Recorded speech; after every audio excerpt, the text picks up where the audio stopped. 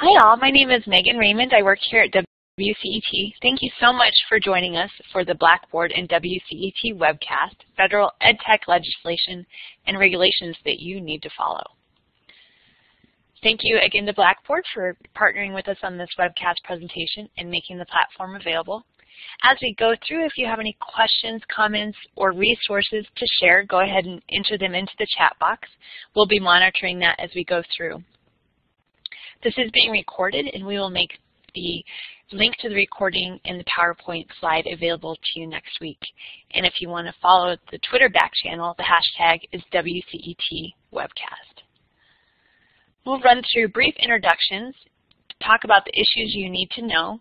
After each issue, there will be a brief discussion with the presenters and a few questions if they're posted in the chat box. Then we'll uh, move to the final discussion, and then if there's any remaining questions and we have time, we'll get to those questions. If by chance we don't get to all of your questions today, we'll be sure to pull those out and send those to the presenters, and they'll provide written responses to you next week, and then we will conclude. Again, as we go through, go ahead and enter your questions into the chat, and we'll get to those as we have time, either at the end of the presentation section or at the conclusion of the overall presentation. We have a wonderful moderator today, the very talented Callie Morrison, who's the Manager of Communications here at WCET. I'll go ahead and pass it off to her. Callie. Thanks, Megan. I'm happy to be here with you guys today, and I'm honored to get to uh, introduce and chat with our um, I think they call themselves irreverent uh, policy experts today. We have with us Jared Cummings, who serves as the EDUCAUSE Director of Policy and Government Relations. In this capacity, he oversees the association's efforts to address federal policy issues with significant implications for higher education IT. He functions as EDUCAUSE's lead contact on policy matters. We also have Van Davis, who is Associate Vice President for Higher Education Research and Policy at Blackboard. Van works uh, extensively in competency-based education and higher education policy issues, as well as distance education, learning technology, workforce alignment, and college affordability. Prior to joining Blackboard, Davis was the Director of Innovations in Higher Education at the Texas Higher Education Coordinating Board, where he worked on the $10,000 baccalaureate program. And finally, but not least, we have Russ Poulin, our own from WCET, who organizes our national policy and research activities, edits our WCET Frontiers blog, and coordinates all of our research efforts. Uh, commonly known for his work uh, in state authorization and other policy issues. Russ served on the Department of Education's 2014 negotiated rulemaking process. So without further ado, because we have a lot of issues to talk about here in a very limited amount of time, we have five issues we're going to cover, and I think we could probably spend an hour on each one. Uh, so I'm asking these guys to be brief, and I will ask you to put your questions in the chat box so we can make this a discussion. With this, I'm going to turn it over to Van, who's going to talk about why the HEA is on hold and how did we get here. Van? Thanks a lot, Megan. So we thought that we would start this out by dealing with the elephant in the room, the Higher Education Act, since that really is going to impact the rest of our conversation. Obviously, we got through last year without seeing uh, the Higher Ed Act reauthorized, although we did finally get reauthorization of um, the Elementary Education and Secondary Education Act. Now we have the Every Student Succeed Act. Um, so what do we have to look forward to for this year? Well, I think uh, both uh, Jarrett and Russ will agree with me when we say that um, there is uh, not a snowball's chance that we're going to see the Higher Education Act reauthorized in 2016. And why is that? Well, for starters, we have uh, the House only calendared for 100 days uh, for this legislative session, and we are already a third of that through. And in that third of the legislative session, we have seen uh, only 31 bills passed. And we have the budget bill looming. So when HuffPost uh, asked the uh, not so um, ironic question, will this be the most do-nothing year of astonishingly unpredictable Congress? I, think the answer is, is unfortunately yes. And that's going to impact how we handle higher education reauthorization next year. It's going to impact how we're currently handling all of the rest of the issues that we'll be talking about today. Uh, the teacher education, uh, distance ed regulations, regular and substantive, distance ed regulations, uh, accessibility regulations. Uh, it deals with accreditation as well. Uh, so we kind of have a, a no man's land that we're trying to operate in here. So why did we not see something passed last year? Uh, we started 2015 with Senator Lamar Alexander as head of the Senate committee, uh, swearing that there was going to be a Higher Education Act passed last year. He was very optimistic about it. Uh, there were some good reasons to think that there actually might be something passed. Uh, there was interest on both sides of uh, the aisle. There was interest in the House as well. Uh, but despite those high expectations, we didn't see anything happen, largely because uh, most of the education efforts during the 2015 session were really being spent looking at uh, getting No Child Left Behind repealed and getting a new reauthorization, which is what we ended up with, the Every Student Succeeds Act.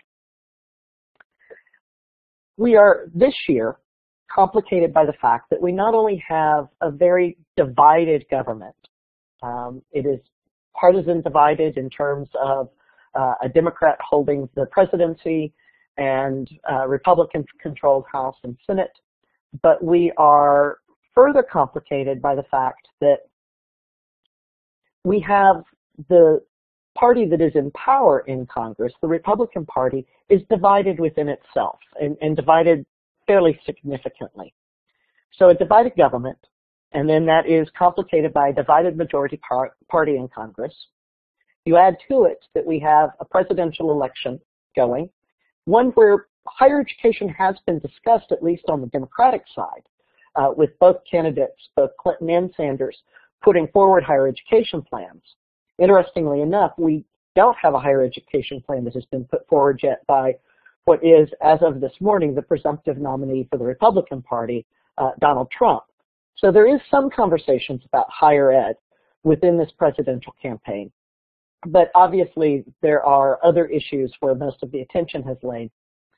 Uh, and then to complicate matters even further, in the Senate where we would have probably the best hopes of seeing uh, HEA move forward, uh, the fact that there had been some bipartisan um, efforts to work together, and we certainly saw that last year with the Every Student Succeeds Act, those efforts are now gone, uh, largely because of how uh, the Senate has now ground to a halt over Supreme Court nominations.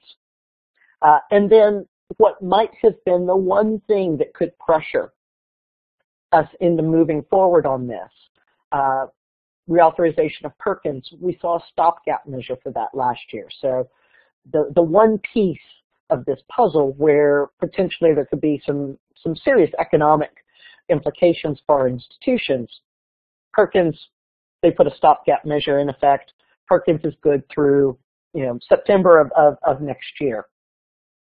So having said all of that, if we're not going to go anywhere until 2017, you know, Russ and, and Jared and I have been asking ourselves why we're not getting vacations. Um, and part of that is, I think, because we're trying to figure out where things are going to go. Um, what do we have to look forward to for next year? Well, it's still going to be uh, a difficult haul. Um, we will have some pent-up legislative demand uh, for higher education reform. Unfortunately, there's going to be pent-up legislative demand for almost everything else since so little is being passed this session. You have a new president that comes into the mix and, of course, a new set of officials at the Department of Education we're seeing some serious seats up for reelection in Congress, and I'm not sure anyone quite knows where any of this is going. So we have a very uncertain and still a very unstable political future ahead of us next year.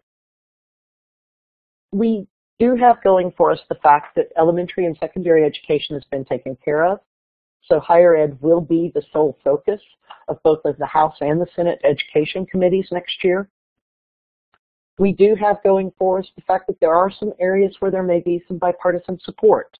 Uh, we're seeing everyone talking about college affordability. Unfortunately, there doesn't seem to be an agreement yet on solutions there, but at least there's agreement that there's a problem. Uh, we see bipartisan support around competency-based education and regulations that might make it easier uh, for institutions to offer competency-based programs, especially around direct assessment and financial aid. Uh, and then we also see an agreement that there needs to be some sort of reform to accreditation. Uh, as uh, I, I, love what Kevin Carey wrote uh, a little while back when he said no one really likes accreditation, but no one knows what else to do. And, and unfortunately, although there is bipartisan agreement that we need to rethink maybe how accreditation functions right now, there is not very much agreement on what the alternatives to that should look like. Uh, we saw a peak of that last year whenever uh, Senator Alexander's staff released a report on accreditation at the beginning of the year uh, before hearings started the solutions that were that have been uh, surfaced uh, rain, run the gamut from moving accreditation to the states. Don't think that we have uh, many states that would be comfortable taking that over. Uh, all the way to looking at uh, alternative providers for non uh, for alternative providers for different types of degree programs like competency-based education. There are things, discussions about having accreditation on a program basis rather than an institutional basis. Uh, and then all the way to um, some conversations about keeping the process that we have, but decoupling it from financial aid, uh, financial aid authorization, as well as some other tweaks to it. So all of that leads us to where we are now and where we may still be next year if we don't see legislation moving through Congress, how do we see higher ed being handled? And what we're seeing is this idea of legislating through regulating. And I know that this is especially one of uh, Russ and Jarrett's uh, passions about this idea of legislating through regulating. So, Russ, I'm uh, I'm going to ask you to tell us. Well, I think that last point on. about the legislative through regulating is that that if there's not the Higher Education Act that is where we're looking at all these issues in a whole and thinking of them together. What tends to happen historically and what appears to be happening now is that all these issues get separated out into a bunch of different bills and and they move forward at, at their at their own pace and so uh, that appears to be what's happening uh, right now. And this is Jared. I would just add that um, you know, as the Obama administration's headed into the home stretch, we've seen uh, an increasing tendency across the board, I, would say a building tendency over the course of the administration to exercise um, executive authority to the maximum extent, uh, in, in part to compensate for the fact that legislation is so hard to come by with a with this Congress and a divided government. Um, and so that is understandable to a certain extent, but it also creates problems in that, uh, you know, reinterpretation of long-standing provisions can introduce new problems, new difficulties, and then we get into the whole issue of sub-regulatory guidance, where um, you know recently the Department of Education in particular has been uh, taking heat from Congress and, and has been forced to um, you know publicly uh, declare that uh, its dear colleague letters are intended as guidance, that they do not have the force of regulation, that institutions are not required to follow um, those letters uh, as if they're regulation. Um, but if we're still in a similar situation uh, in 2017 with the inability to actually legislate to resolve issues, it'll be interesting to see what the administration in power at that point uh, thinks it should do in relation to exercising its executive authority. Well, you know, Jared, I think you brought up something really interesting with, with what's been going on with the Dear Colleague letters and, and Ed now, you know, having to say these are meant as, these are not regulations. Um, but, you know, we haven't talked about the fact that there's, you know, a growing divide between the Office of the Inspector General and the Department of Ed as well on some of these issues where even where Ed seems to be trying to create some space for experiments and innovation, particularly around competency-based education, you know, we, we are constantly now sort of getting pressure from the Office of the Inspector General um, suggesting that uh, the department is not doing its due diligence around financial aid in these cases. You, you know, I think we'll get into that a little bit in a couple more sections. Don't you think, Van, when we talk about regular and substantive? Yeah, we are, so. we're, we're ready. Yeah. Um, I'm going to say, I'm going to add, I think the thing that makes me the um, the angriest about nothing happening with the HEA is all the hours I spent last summer watching the hearings, and there were some good things to come of those hearings, um, some good discussions had, but apparently uh, not good enough to hold the interest to keep the committee moving at this time with all of the political instability. Um, so we're going to move on to our next section, and I'm going to ask Russ to talk to us about the teacher prep regulations and what those are, what they mean for us. I'll go through this briefly. Uh, yeah, thank you, uh, Van, for setting this up, and for and Callie for for moving uh, moving us forward. Uh, again, all these issues we could go on for quite a while. And even if you don't have a program where someone could uh, graduate from that and become a K through 12 teacher, you'll probably want to pay attention to what what what has happened here. Is that uh, what the Department of Education does is that they expect each state to review and to grade all the teacher uh, prep programs that are out there. So if you have a, uh, a graduate from your program who, gets certified as a teacher in your state, that uh, this has been something that's been going on for a while.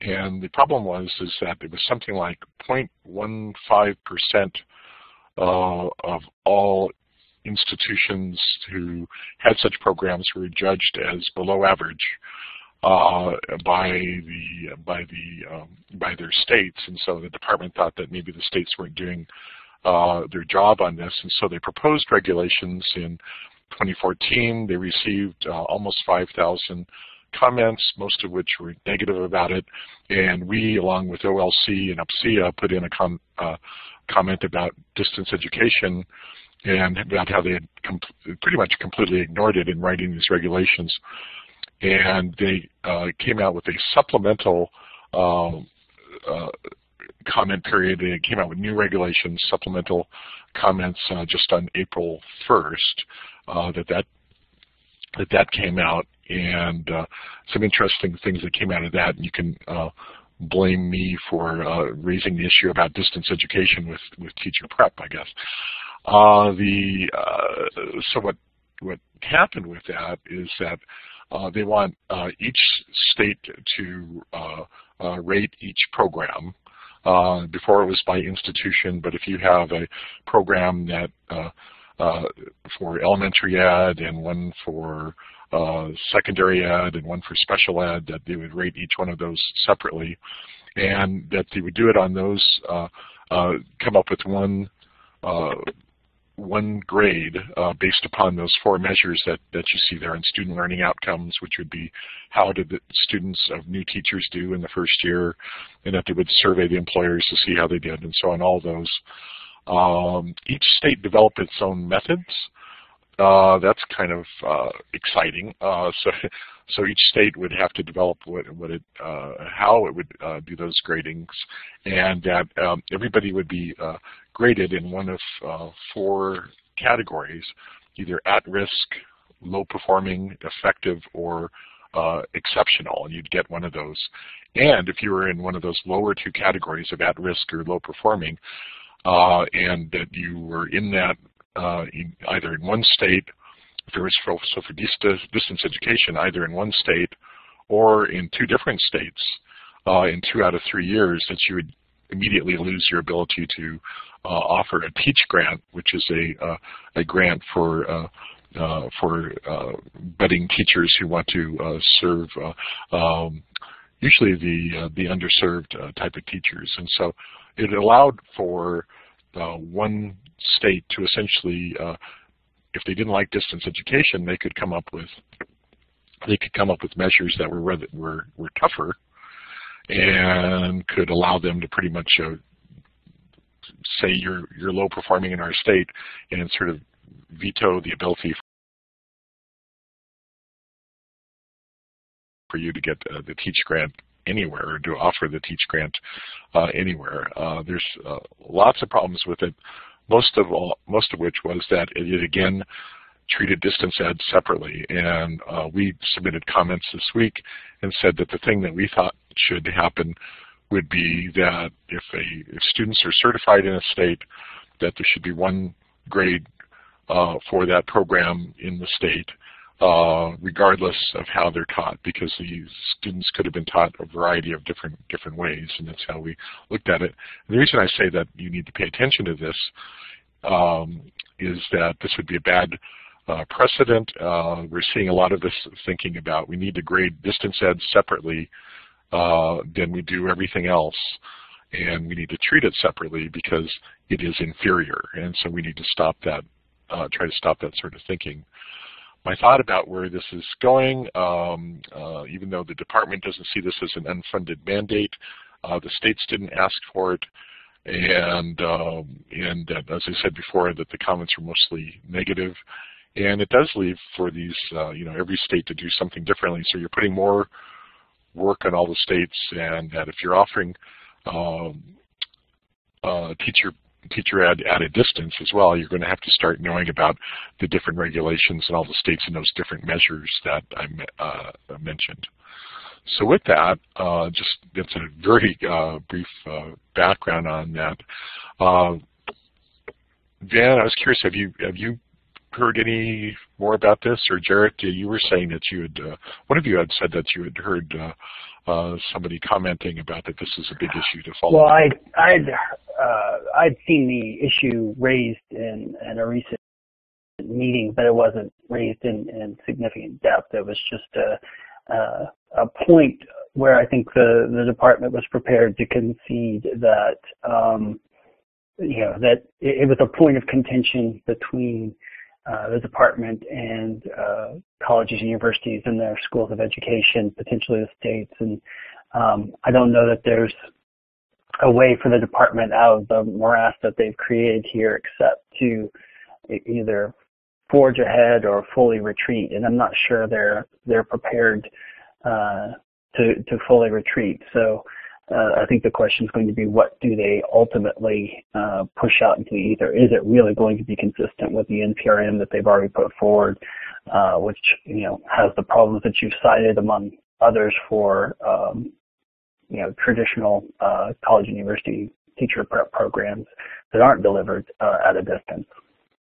And, and I know, Russ, every time I look at these things, I have bad flashbacks to a few years ago uh, when we were dealing with the state reauth- uh, the state authorization uh, of distance education programs, and and I remember I was dealing with that from the state perspective, and you know the, the state agencies that are going to be asked to handle these teacher uh, distance ed prep uh, issues are are usually not equipped in terms of having the personnel or the depth of personnel to handle them, and I'm not sure that that's something that really the department has has fully taken into consideration.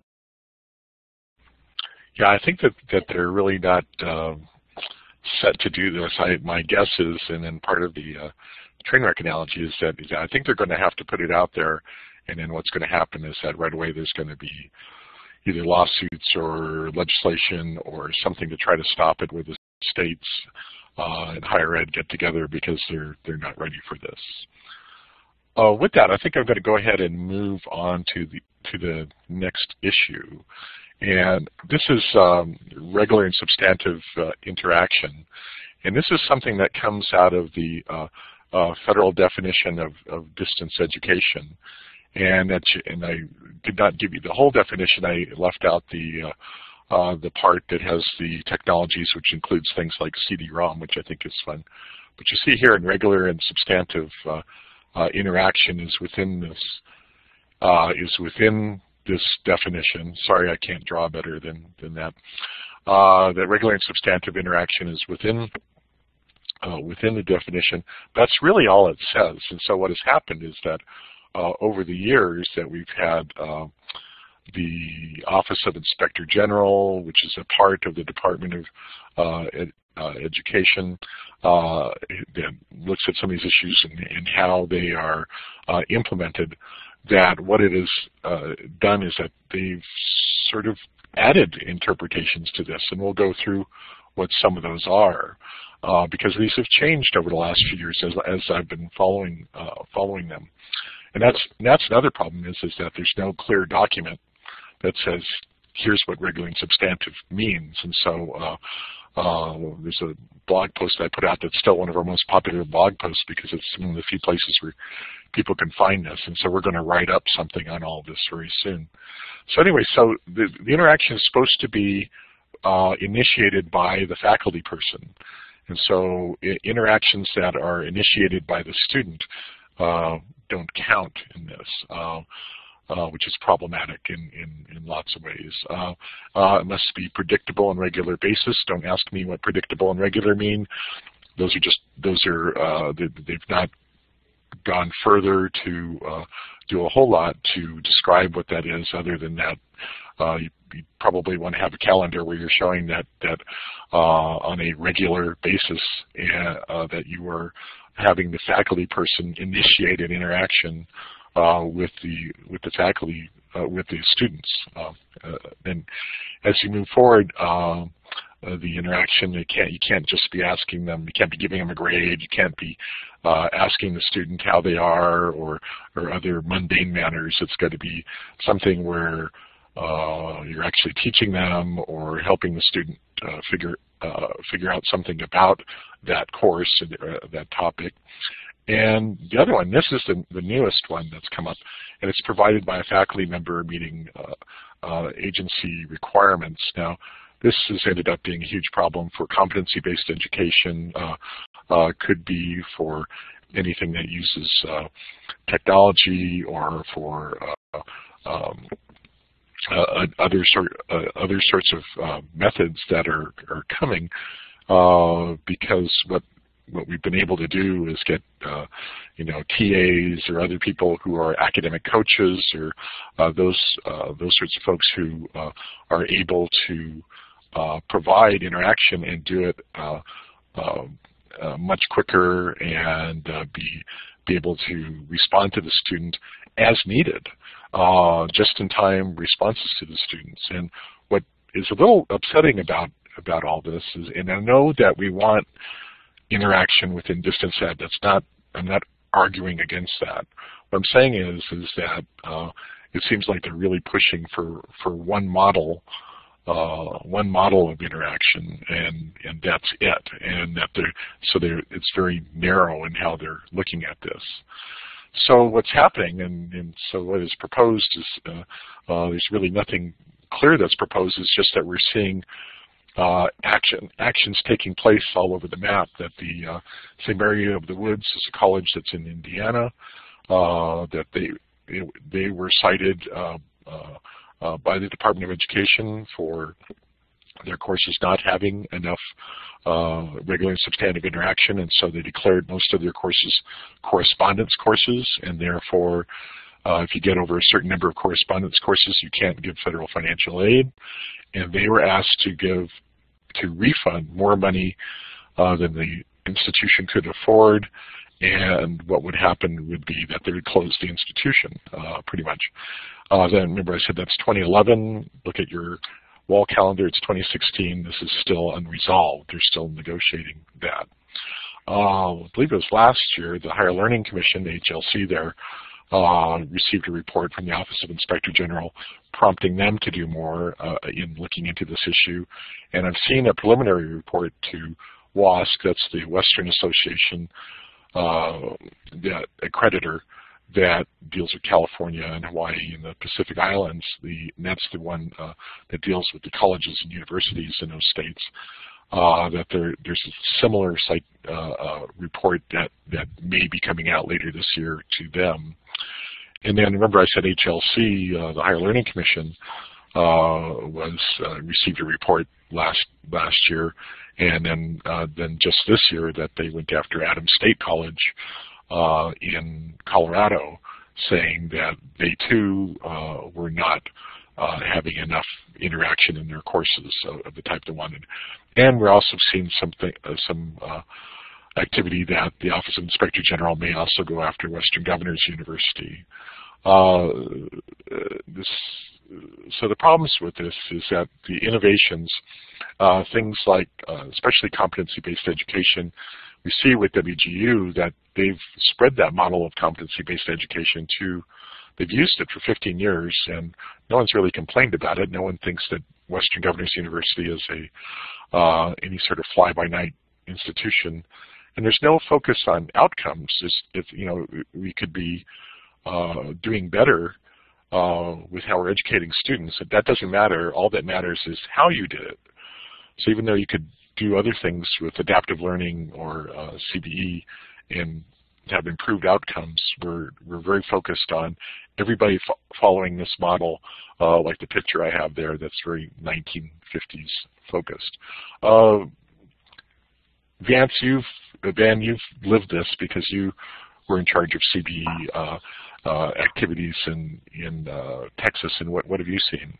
Well, I think that um, this is, again, this is sort of one of those points where uh, there's a lot of irony and, and oftentimes a lot of conflicting speech. You know, in Texas, we the, the our work in CBE was really driven by the fact that, that we have more students to educate than we had the capacity to educate. We had 3.6 million adults with some college credit and no degree, and the CBE programs that I was working on were primarily for those returning uh, adult student audiences. And we know nationally, when you look at Carnevale's work, that you know we're going to need another 20 million uh, college-educated workers uh, by 2025.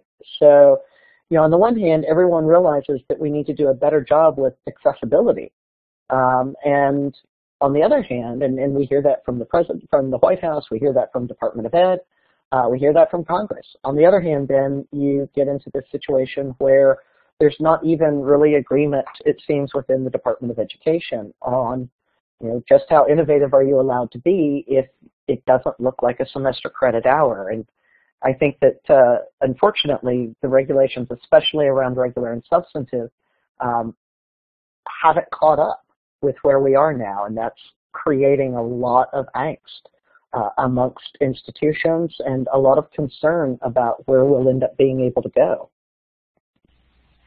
Okay, and we'll end this up here. And I saw there was a question about MOOCs, but if your MOOC is uh, providing uh, federal financial aid, which most uh, do not, but some do, and it doesn't meet this criteria, that, that they'd be in the same uh, they'd be in the same boat as this, and so that would be a problem. So with that, we can see we, get, we have some questions. We'll get to them in a bit, but we'll go ahead and turn this over to Jarrett. Thank you. Um, and I'd like to talk about um, the uh, uh, bill that we've been working on. When I say we, EDUCAUSE, as part of a, a larger group of higher education associations, uh, has been working with the National Federation of the Blind and the Association of American Publishers uh, for the last several months, uh, over a year really, on um, a bill that we're currently, uh, our working title is Accessible Instructional Materials in Higher Education Act. Um, and this is another example of where um, the Higher Education Act can set things in motion um, in ways that other uh, approaches to addressing issues simply can't. Um, so, for example, in this case, uh, the Higher Education Opportunity Act, which was the uh, HEA reauthorization, the last HEA reauthorization in 2008, um, called for the establishment of a commission to look at the accessibility of instructional materials in post-secondary education and propose ways uh, to improve uh, accessibility in post-secondary instructional materials. Um, as a result, uh, the commission uh, was established and ultimately produced a report in 2011 where one of the recommendations was to have the U.S. Access Board uh, establish guidelines for uh, instructional materials in post-secondary education. And uh, NFB and AAP decided to work together uh, and develop a bill that would uh, lead, you know, that would lead to the development of voluntary guidelines for uh, post-secondary instruction materials.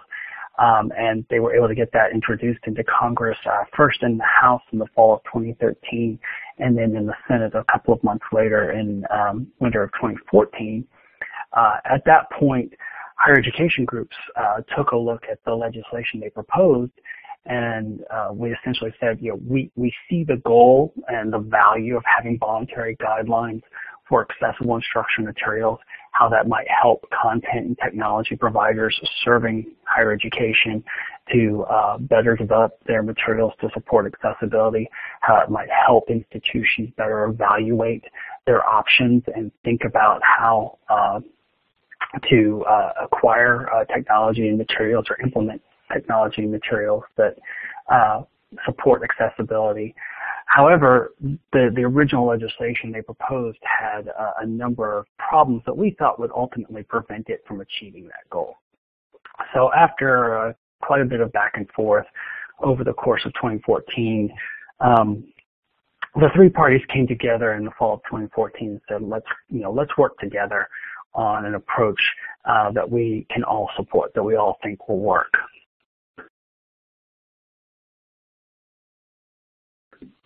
Sorry, hit the wrong button. Uh, now we will try the right one. There we go.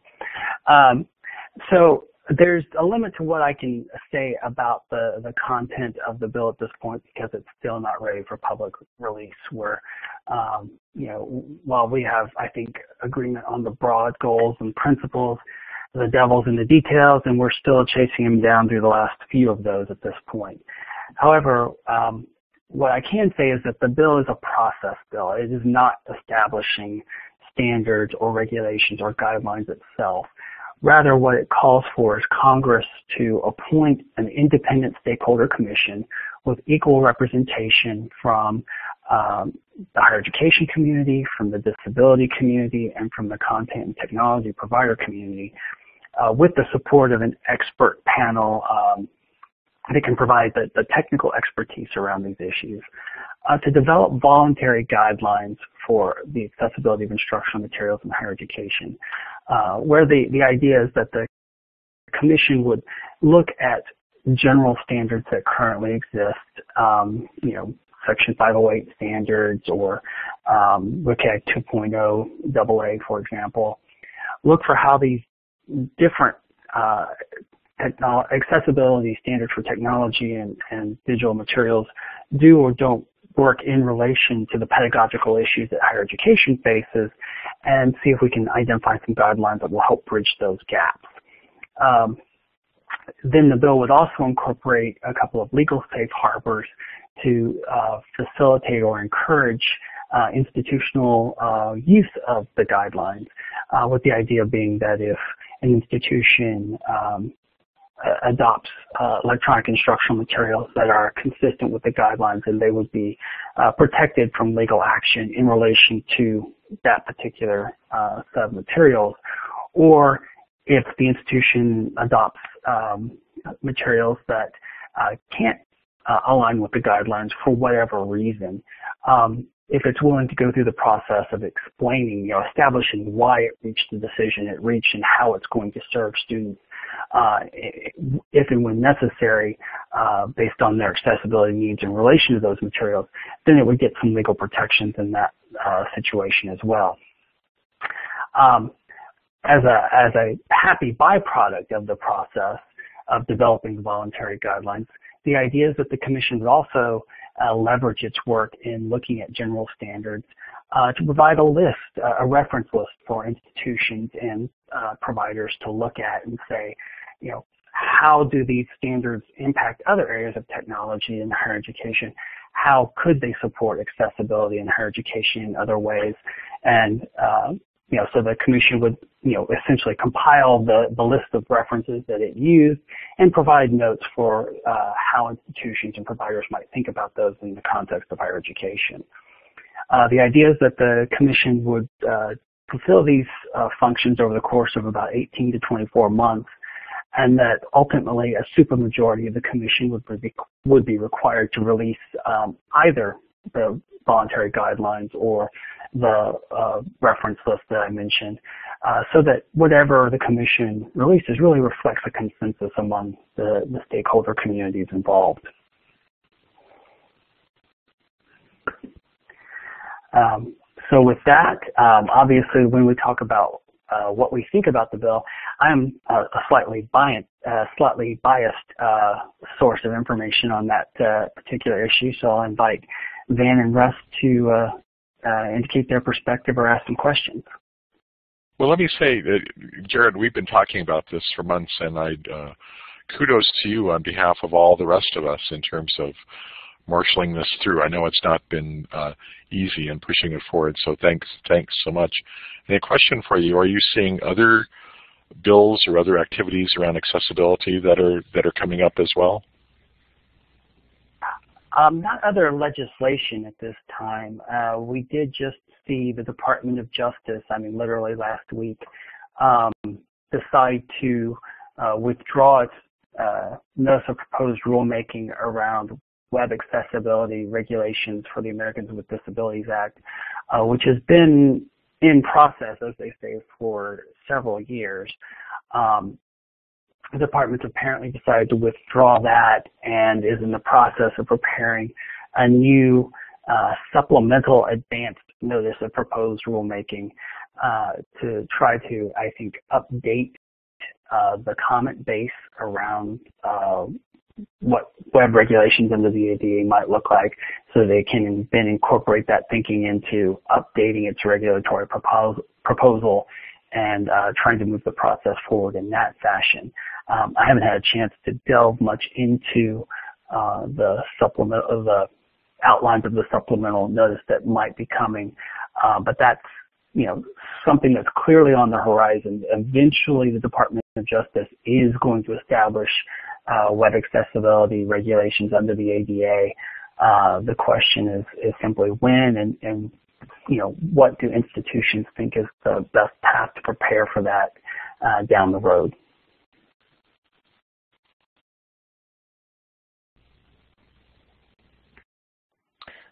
Dan, do you want to weigh in, or do we have um, a moment for a question here?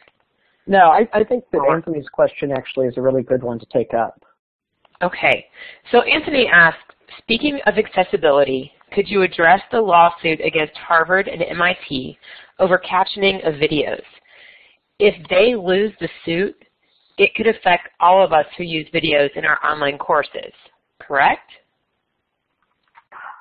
Well, I, I will acknowledge I have a very limited base uh, of, of legal understanding with which to address this issue. So please don't take this as, as gospel or anything approaching it. Um, however, I think the distinction is that the Harvard and MIT uh, case is related to the to their MOOC offerings, which are general public content offerings at the end of the day. Uh, whereas when it comes to our online courses and the delivery of those courses to enrolled students, I think there are different standards involved, uh, different requirements involved as opposed to something that could be considered, could be considered uh, a, public accommodation uh, under the ADA. So that's where having a conversation uh, with institutional counsel really comes into play. My sense is that it, um, given the fact that uh, the Harvard and MIT that basically the edX suit is related to their MOOC offerings, that it may not have that breadth of applicability that the, the question implies.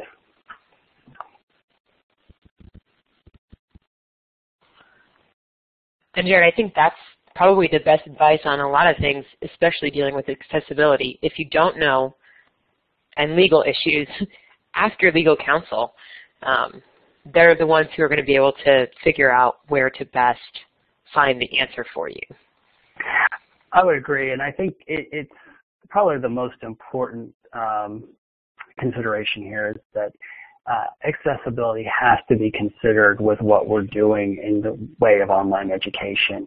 Um, it's, it's important to assess where you are now, where you might go, and what it means, not just for the legal compliance requirements, but just the general obligations that we have in relation to our mission as uh, institutions of higher education.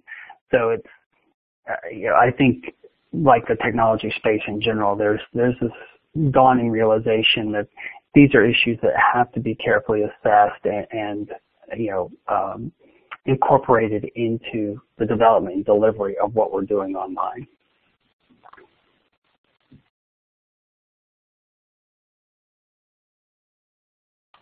All right, Jared, would you like to move on to privacy? Sure. And this is another um, interesting bill, although we're, you know, this one was uh, developed by the House Education Workforce Committee. I have no uh, pride of authorship here whatsoever. Um, that doesn't speak uh, for or against the bill. It's just uh, uh, an acknowledgement. Um, but in any case, uh, the bill is is an attempt to rewrite the Family Educational Rights and Privacy Act, or FERPA, primarily to respond to concerns that arose within the K through 12 space around um, service provider uh, access to student data and the use of that student data uh, for marketing purposes, which many um, parents and, and, lawmakers uh, had concerns uh, were not really appropriate uses of that data, uh, particularly without uh, parental oversight. Um, the bill also tries to address the various uh, as I say, hiccups and inconsistencies that have developed over the 40 years of FERPA's existence, um, not just in terms of the legislation itself, but also how it's been uh, interpreted through regulation and sub-regulatory guidance.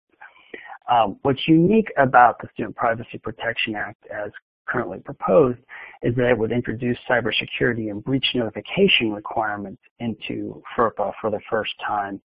Uh, and that uh, is a completely new space for um, that piece of privacy legislation and it creates uh, new challenges.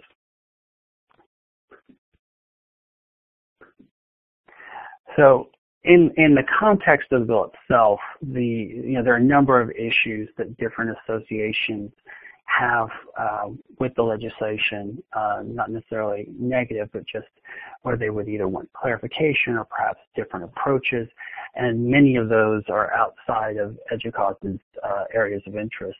Um, where we're really focused when it comes to this uh, bill is around the, the potential cybersecurity and breach notification requirements.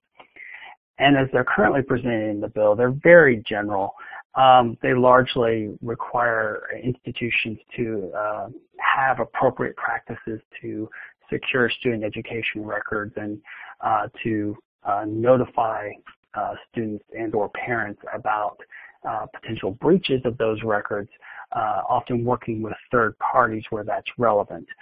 so, you know, where there's a service provider that's handling some aspect of uh, the student education record, uh, the institution or uh, school or educational agency would be required to work with that third party to meet uh, the needs around breach notification. Um, then for third parties themselves, um, the, the bill would call for, again, appropriate security practices where that's warranted based on the, the provider relationship with the educational entity. Um, it doesn't really directly address the breach responsibilities of third parties themselves, and I think that's an important issue. Um, all eh, the all of the security and, notification requirements currently in the bill would be tied to what is uh, clearly a very broad definition of education records, which is consistent with um, the historical role of FERPA in helping institutions and students and parents understand and manage uh, their relationship around the institution's uh, use and control of the student information in its custody. Um,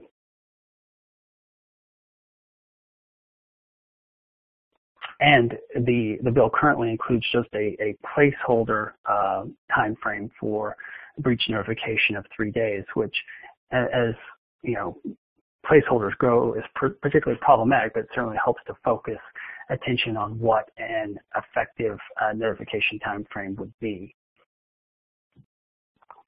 Um, so, you know, this, this legislation was uh, originally um, put forward last summer. Um, the committee has continued to uh, work with it over time. It has not been brought back before the committee for a vote.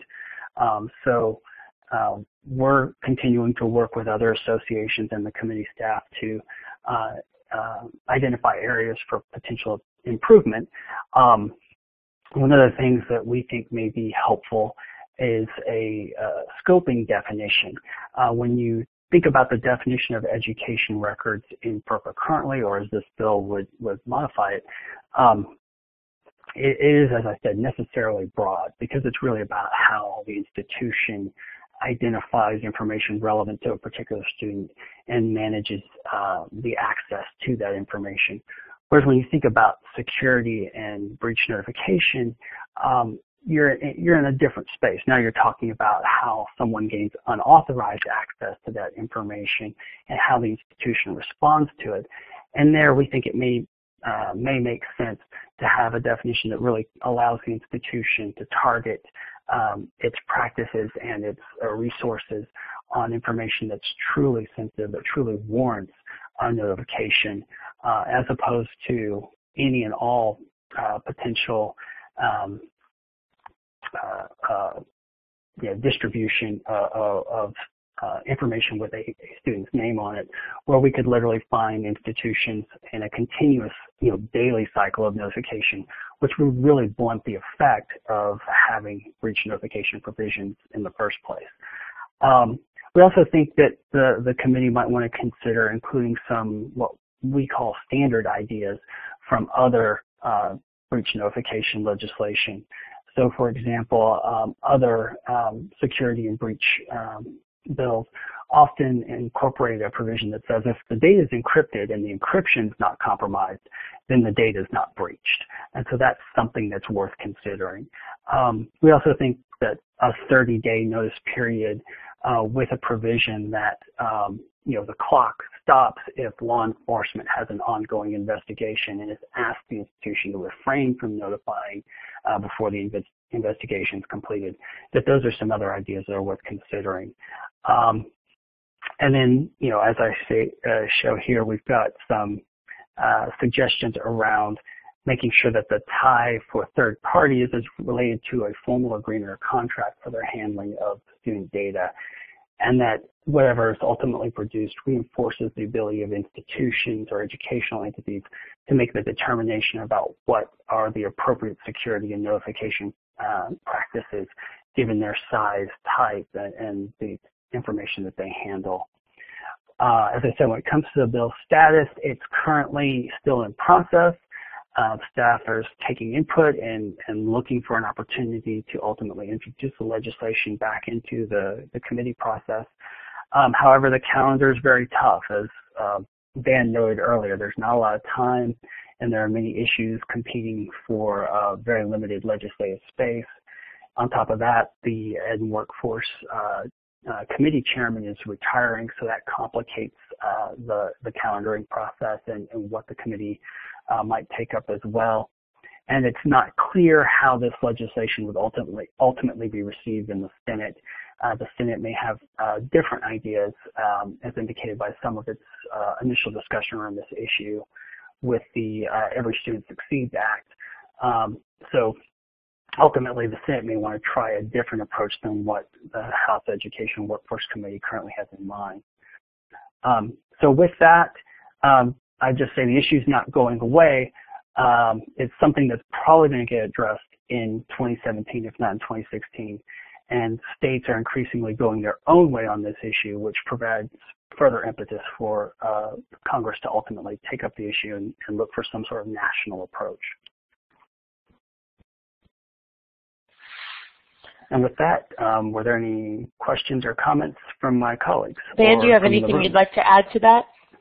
Well, I think I would just uh, reiterate that last point there that uh, that Jarrett made. Um, last year, we saw the overwhelming majority of states at least consider some sort of student data privacy legislation, if not pass them, and there were, and there were a number that were passed. You know, during the 2015 session of Congress, there were um, a lot of competing bills uh, around student data privacy, and as Jared pointed out, the conversations around uh, the Every Student Succeeds Act on the Senate side indicates that they may not be in complete agreement. Um, I think you know one of the things that uh, came up last year that I'm relieved to see is is not really too much of an issue now is that there was some discussions in, in one of the Senate bills last year that would really uh, have a chilling effect on how uh, institutions and other organizations could do research with uh, student data. And that would have made, I think, especially some of the innovations around adaptive learning very difficult to do. So I think I'm relieved to see that that, that has gone by the wayside. Um, the reality is we have privacy legislation that was built for a time when we kept student records in file cabinets locked away in back rooms of schools. And it's long overdue for this sort of a revamp to uh, deal with the age that we're in right now. So we have one question that goes with this. Um, can you guys say, is this just for K-12 or is it for higher ed too? It would affect higher education as well, and I think that's part of the uh, discussion that, that uh, higher education groups want to have, or actually we are having with committee staff on an ongoing basis, is that um, you know, FERPA affects the education sector generally, not just K through 12, but also higher education. And some of the, the text doesn't really anticipate the issues that a college or university might have to address in this area um, that, that K through 12 entities uh, aren't affected by in the same way. So that's something that ultimately we'd like to see uh, the legislation address. You know, some of these concerns that I raised about how you know, um, the provisions would fit within a higher education context, not just a K through 12 context.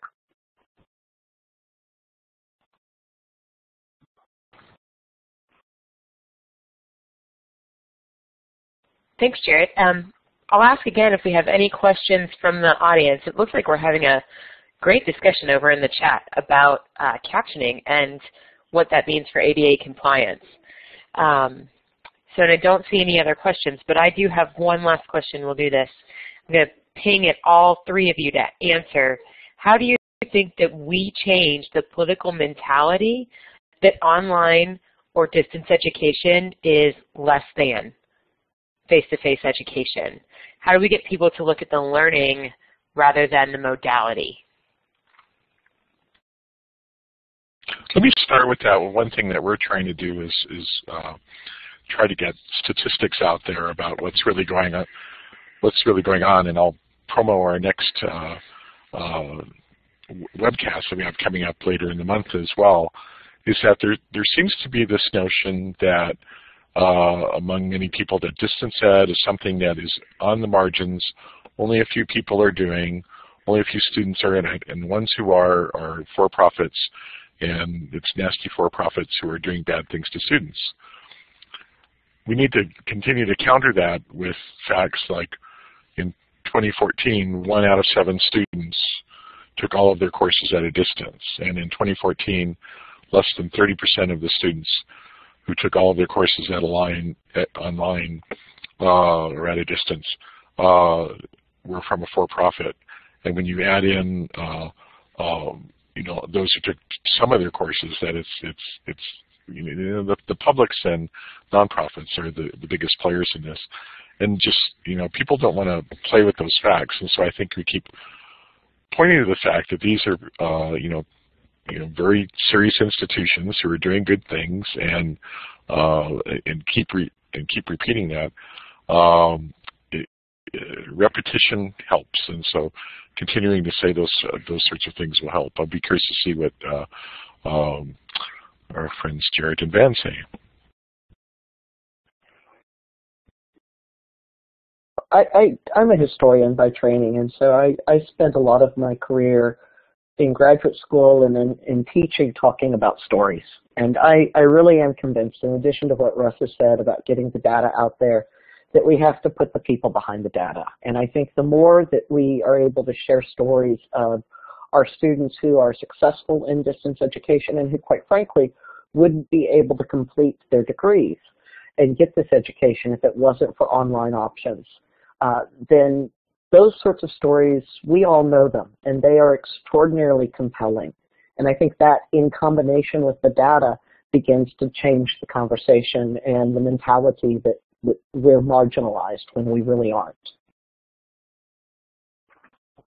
Yeah, I, I would agree. I think, you know, it, it seems like we've had this uh, slow rolling evolution for going on, uh, slow rolling evolution in thinking going on for 20 years, and we're just now hitting, um, I think, a, a, potential moment of critical mass where the uh, understanding of the non-traditional student as the norm within higher education and the understanding of technology as, as a major component of uh, learning in higher education, whether it's on campus, in the classroom, in the dorm room, or uh, from a thousand miles away.